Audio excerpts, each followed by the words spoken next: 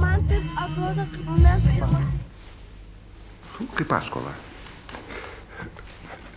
Vėliau susimokėt. Nu, baigit. Bažnyčia. yra pas vieta, kurioje jaučiuosi labai labai labai negerai. Yra uh, ypatingai mano močiutės namai.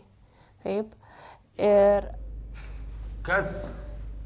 Kad eik, atvažiuoja čia, bando kažką susūt, kažką išsiaiškinti. Iš viso.